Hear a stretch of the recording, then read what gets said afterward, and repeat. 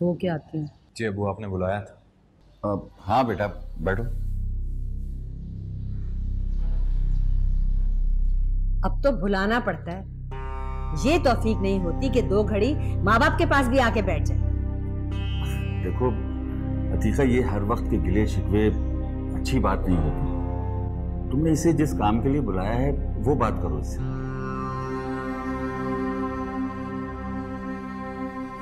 उसे क्या इशारे कर रहे हो? मैं बताती हूँ। देखो राशिद मैंने तुम्हारे लिए लड़की पसंद कर ली है। सबा नाम है उसका। रफीका बहन की बेटी है वो। अगर अम्मी? अगर मगर कुछ नहीं। देखो स्वालिया के होते हुए तुम्हारी मजबूरी तो समझ में आती थी। लेकिन अब हालात का तकाजा है कि तुम शादी कर लो।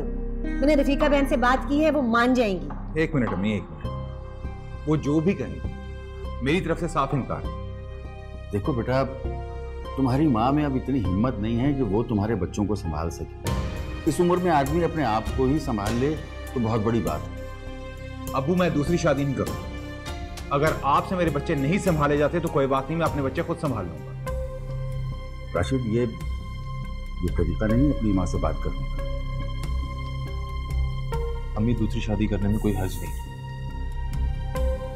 फ़िलहाल आप भाई को उन्हीं के हाल पे छोड़ देखो जल्द शादी पे मैं इसलिए ज़ोर दे रही हूँ कि इसकी बच्चियाँ भी छोटी हैं और उन्हें माँ की ज़रूरत है। माँ नहीं सौतेली माँ। माँ माँ होती है राशिद चाहे सुतेली हो या सगी हो।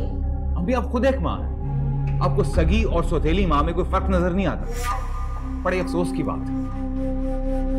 देखो बहस इस मसले का हल नहीं है। अतीका से अब बच्चे नहीं संभलते।